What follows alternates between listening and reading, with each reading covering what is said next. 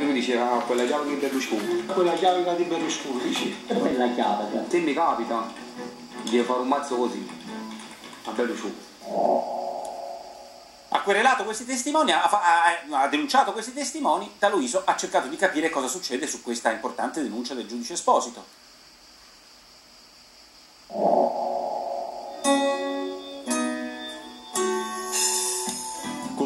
Queste tre persone c'è un procedimento penale attualmente pendente. Così è dichiarato il giudice, ora in pensione Antonio Esposito, presidente della sezione di Cassazione che condannò Silvio Berlusconi dopo la messa in onda a Quarta Repubblica delle tre testimonianze circa un suo possibile pregiudizio nei confronti del leader di Forza Italia. Se mi capita di fare un mazzo così a Berlusconi. Quale procedimento penale pende contro tre dipendenti dell'hotel di Ischia un tempo frequentato da Esposito? Siamo andati a controllare. Il 3 aprile 2019, dopo essere venuto a conoscenza delle deposizioni dei tre testimoni, Esposito presenta alla Procura di Napoli una querela per diffamazione nei loro confronti. A distanza di un anno e tre mesi non risultano azioni o provvedimenti in seguito alla querela. Il fascicolo non ha avuto alcun avanzamento.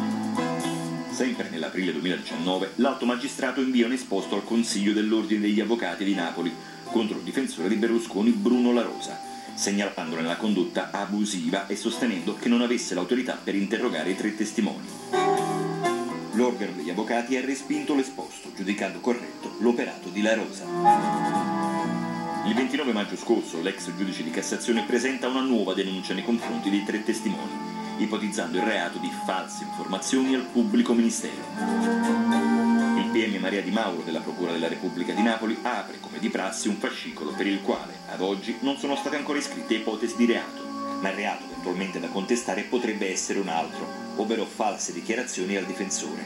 Ed essendo trascorsi sei anni, gli interrogatori si sono tenuti nel 2014, come previsto dalla legge sarebbe soggetto a prescrizioni e dunque non si potrebbe procedere nei confronti dei tre lavoratori.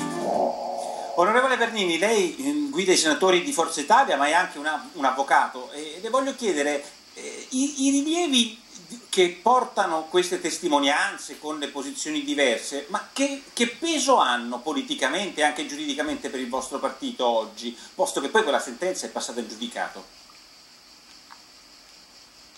Guardi, per noi il fatto che si sia trattata di una, di una, di una persecuzione giudiziaria fin dall'inizio, di un accanimento giurisdizionale che ha toccato il Presidente Berlusconi a partire da quando è salito sul, diciamo, sul palcoscenico della politica, eh, non è una novità, si tratta veramente di un segreto di Pulcinella. Noi a partire dal 1994, da quando abbiamo visto recapitare, lo sapete, lo avete ricordato anche voi, al Presidente Berlusconi, tra l'altro impegnato in un'importante kermesse internazionale da Presidente del Consiglio, eh, un avviso di garanzia non per via giudiziaria, attraverso la polizia giudiziaria, bensì eh, a mezzo stampa. Ecco, da qui comincia la follia eh, giudiziaria, la follia eh, mediatico-giudiziaria, magistratuale che ha riguardato la vita del Presidente Berlusconi. Voi pensate, lei lo sa, eh, dottor Porro, perché ne sta parlando da tre settimane ininterrottamente, ma sono i numeri che fanno impressione.